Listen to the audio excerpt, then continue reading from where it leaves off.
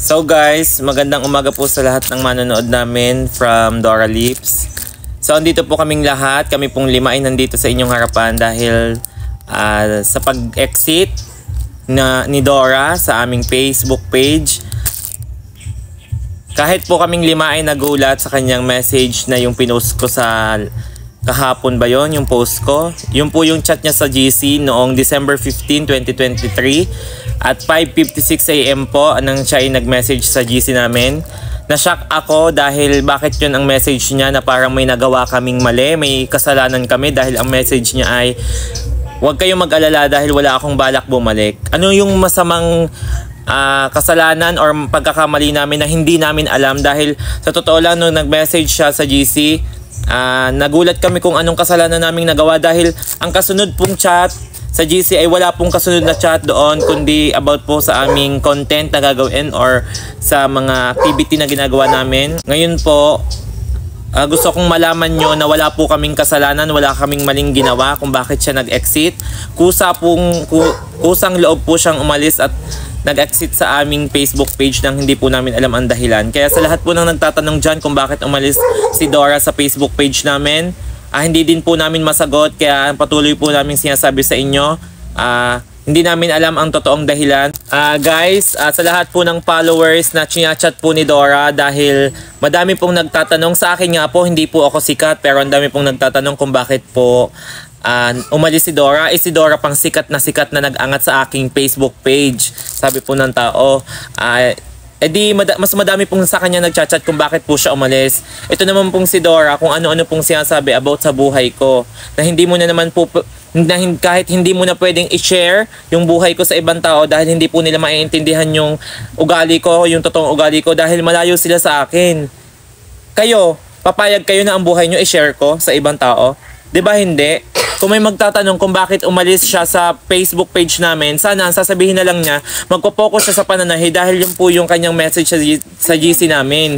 Hindi yung ang dami niya pong sinasabi about sa buhay ko sa ibang tao na hindi naman po niya dapat pang i- ilabas, ikwento as public dahil private po ang buhay ko. Private po yung mga nangyayari sa buhay ko na hindi po nakikita sa camera. Private na po yun, hindi na po dapat pang sabihin kung kung about kung ano-anong about sa buhay ko dahil sa totoo lang po may mga concerned follower po ako na nagchat-chat sa akin, nagme-message sa akin kung ano po ang chat ni Dora sa kanila na hindi ko po lubusang nagugustuhan yung chat ni Dora sa kanila, sa kanila about sa buhay ko. Dahil sa amin pong lahat, buhay ko lamang po ang chat niya, buhay ko lamang po ang isineshare niya sa followers.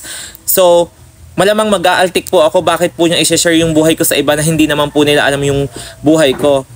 Totoong pinsan, pinsang buo ko po siya dahil ang ina niya at ama ko ay magkapatid. Pero bakit po nagagawa niyang ibida ng ibida, i-share ng i-share yung buhay ko sa iba na sa totoo lang wala akong i-share, wala akong ibinibida sa lahat po ng followers, wala akong ibinibida sa lahat ng manonood ko ng about sa buhay niya ng um, mga mga nangyayari sa buhay niya Walang paninirang nagaganap po sa mga ikino-comment namin about kay Dora.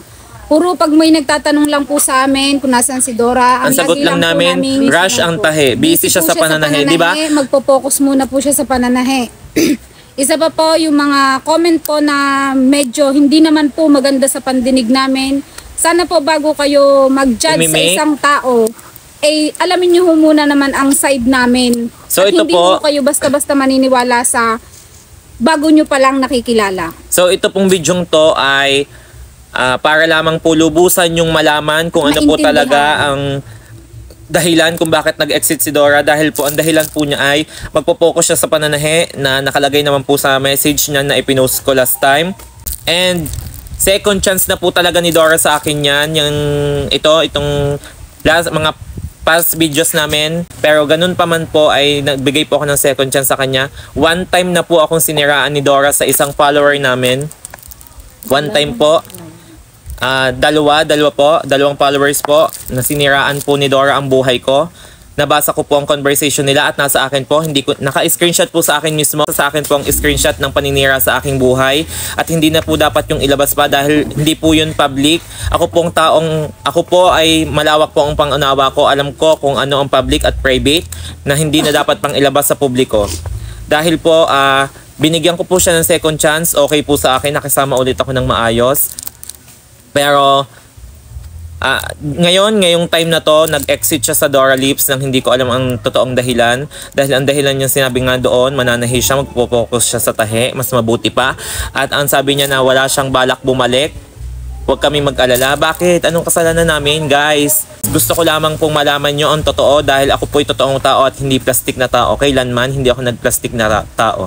Ang pakikisama ko sa kanila. At sa totoo lamang po, kung masama po talaga ang ugali ko, alam ko po na ako po ang may-ari ng Facebook page at hindi ko po ito ipinagmamalaki na ako ang may-ari ng page. Ito po ay may ang pagmamay-ari ng Facebook page na Dora Lips ay sa amin pong lahat dahil kami pong lahat ang gumaganap dito.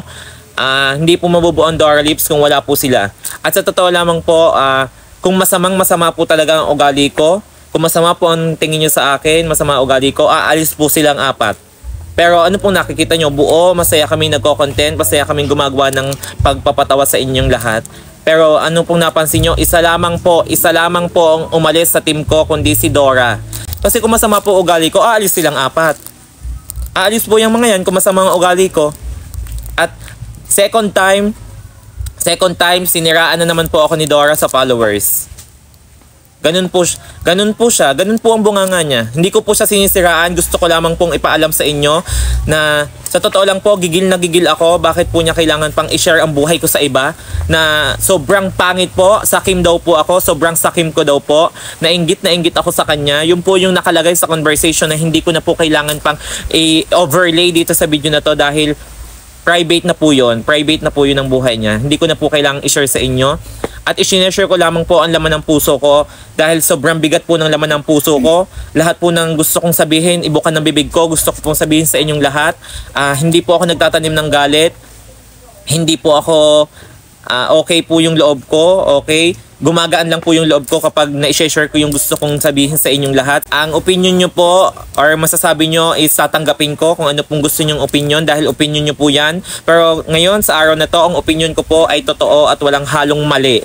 Lahat po ng sinasabi ko ay totoo dahil sa, ah, pang, sa apat na followers ay siniraan niya po ako sa apat na followers. Ikwento niya ang buhay ko. Sakim daw ako. Inggit na inggit daw po ako sa kanya. Inggit daw po si call center. Inggit daw po si Ga sa kanya. Na hindi ko po alam kung ano pong ikinaiinggit namin. Sa totoo lamang po. Sa totoo lamang po. Nagpakatotoo lang ho kami kaya kami gumawa ng video to. Hindi ho kami para mag ang- iangat ang aming sarili. Sinasabi lang ho namin ng katotohanan na kami hong lima.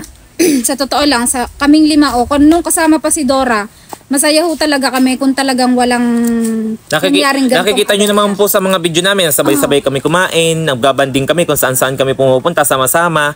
Pero yung mga ginawa niya na i-share yung buhay ko na kung ano-ano pang sinasabi niya na ako day sakim, yun nga, nabanggit ko kanina, ako day inggitera, inggit daw kaming tatlo. Sa totoo lamang po, kami po ang magpipinsan, si Ga, si call center, ako at si Dora, ang tunay na magpipinsan, pinsang buo po. Mag, mga magulang po namin ay magkakapatid.